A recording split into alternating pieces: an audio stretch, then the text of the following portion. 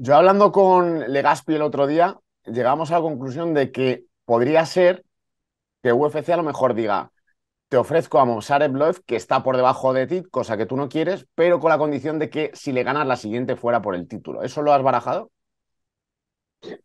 Eh, claro, claro que lo, lo, he pensado y puede ser. Si todo es sentarme y, hablar con ellos. De momento no me han ofrecido a Mozart. De momento nadie me ha hablado de Mozart, lo he estado pidiendo por no sé cuánto tiempo para, para pelear con él. De hecho, es una de las peleas más fáciles que hay en, en, el top 15, yo creo, porque es malísimo. No, sé cómo, cómo, de verdad habla tanto, porque de verdad es, eh, yo desde mis ojos lo veo y lo veo bastante malo. No lo veo un tipo, mira, es un tipo que le tienes cero respeto en, el striking porque no tiene el poder de tirarte. Es una persona que le tienes cero respeto en el suelo porque no sabe finalizar.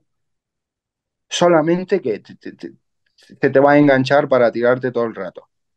¿Sabes? Eso me da un montón de libertad de hacer lo que quiera en el suelo con él e intentar finalizarlo todo el tiempo. Y estando de pie, pues lo mismo, hacer lo que quiera porque no tiene el poder de noquearme realmente puedo acabar esa pelea como, como la gente quiera. Wow. Claro, lo podría finalizar, lo podría noquear de verdad. Es que podría preguntar, ¿cómo quieren que lo acabe? Eh, noquealo, vale, lo noqueo.